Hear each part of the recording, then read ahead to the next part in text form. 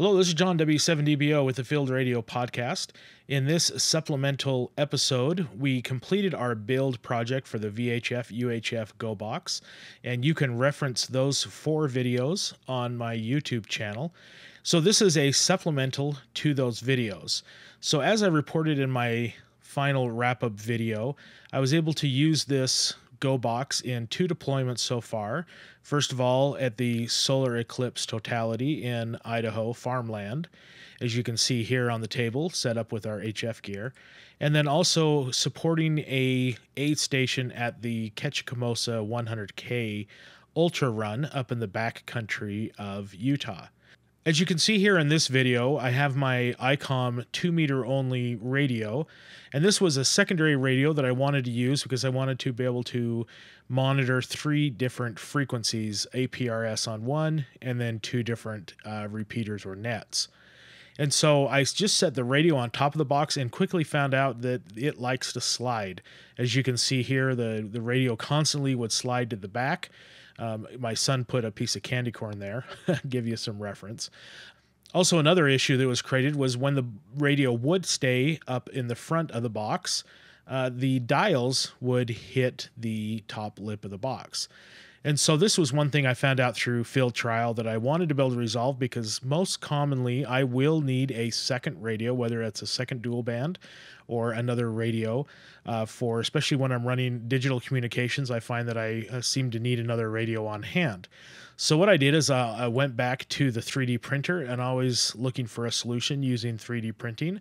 I basically built this sled for any radio uh, to fit on top of the box after opening it up and setting it up. This sled holds the radio in place, it lifts it up to the proper height, and uh, it keeps it from sliding around on the box. And so you can see here I have a base uh, that is screwed to uh, side brackets. And so what I can do with this is I can print multiple bases, and then all I need to do is change these brackets based on the spacing of the existing uh, radio supports.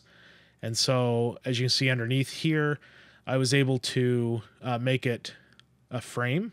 Now, in the front of this here, I'll start zooming in here.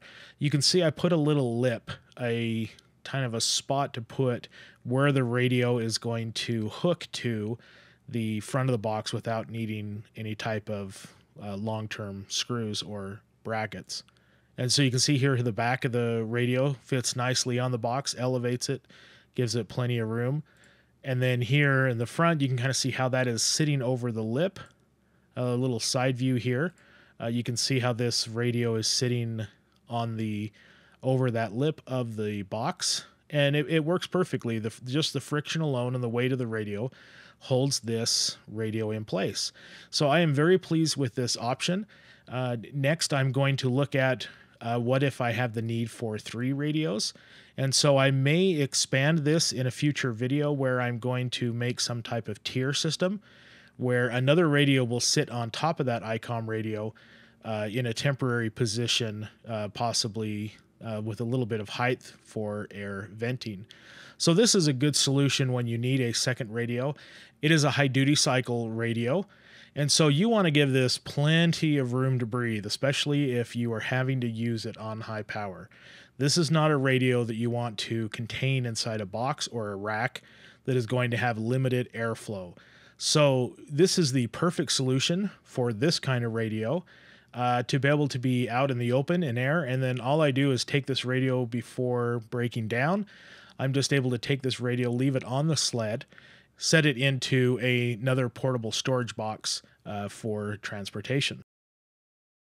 I hope you've enjoyed this supplemental video. Like I said, um, as I go through uh, different deployments with this box, I will be providing additional information and field reports. Upcoming, I will be supporting this next week. This is being recorded in the first part of September 2017. I'll be supporting the Lotoja Logan to Jackson bicycle ride. And this will be actually using this Go box in a vehicle. Uh, so I'm going to be producing a video after the event showing how I can take this Go box and still implement it in a vehicle deployment. So look forward to that and uh, many other projects as I continue with the Field Radio podcast. If you're new to the Field Radio podcast and you came across this on YouTube, you can find information about our bi weekly podcast on the Ham Radio 360 network, where we also have the Ham Radio 360 show and the Workbench show. Three excellent resources for your ham radio hobby. You can find that at fieldradiopodcast.org or hamradio360.com. Thank you for watching. This is John with the Field Radio Podcast 73.